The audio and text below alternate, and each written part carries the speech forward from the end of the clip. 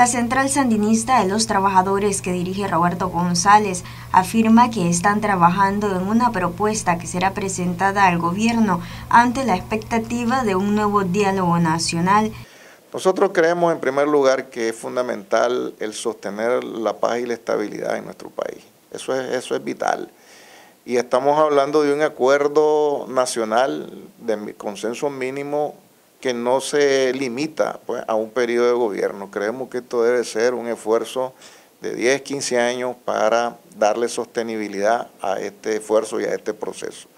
Segundo, estamos planteando que es fundamental establecer en esta nueva etapa post-crisis, post-pandemia, que es importante establecer pilares fundamentales priorizados y creemos que se necesita ya discutir y hablar del proceso de transformación, del proceso de eh, eh, que podamos nosotros eh, enrumbar nuestro modelo económico a un modelo y a un proceso que alcance mejores niveles de rendimiento económico, productivos y de nuestra economía.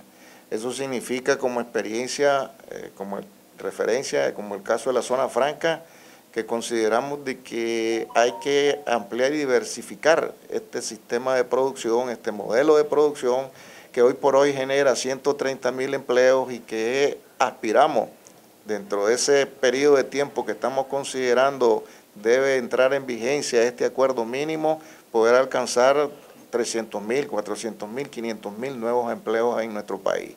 Segundo, estamos hablando de implementación de nueva tecnología en la que nuestra fuerza de trabajo eh, requiere de una mayor formación técnica y profesional. También hemos creído importante el tema que tiene que ver con la agroindustrialización. González dijo también que respetaban la decisión del gobierno sobre el romper las relaciones diplomáticas con Taiwán. La respaldamos.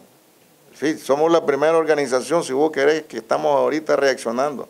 La respaldamos. Lo que hemos dicho es que somos respetuosos de las decisiones de Estado. Pues esta decisión del gobierno de Nicaragua no está afectando a los sindicatos ni está afectando la inversión y el empleo. Recientemente el gobierno de Nicaragua dijo reconocer que en el mundo solo existe una sola China. Noticias 12 Darlene Telles.